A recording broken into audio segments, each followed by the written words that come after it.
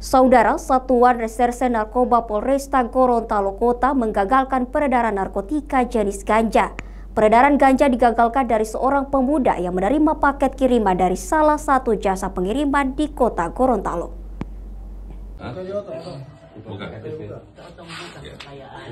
Narkotika jenis ganja siap edar digagalkan oleh Satuan Reserse Narkoba Polresta Gorontalo Kota dari rumah seorang warga berinisial WK di Kelurahan Bugis Kota Gorontalo.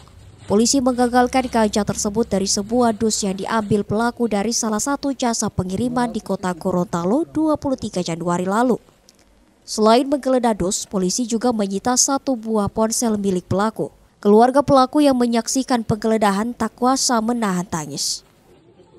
Kapolresta Gorontalo Kota Kombes Ade Permana menyebut pengungkapan kasus peredaran ganja berawal laporan yang diterima polisi akan ada warga yang mengambil paket mencurigakan dari salah satu jasa pengiriman.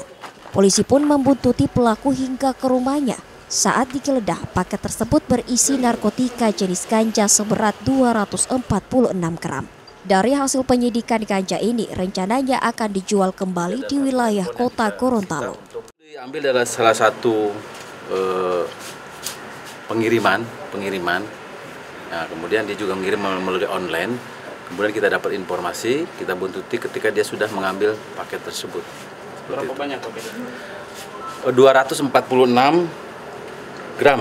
Kalau udah lihat dari jumlahnya kemungkinan memang tidak ada dari pengakuan memang akan disebarkan kembali untuk dijualkan kembali pada ya khususnya masyarakat di Kota Gorontalo, mungkin juga di luar Kota Gorontalo seperti itu.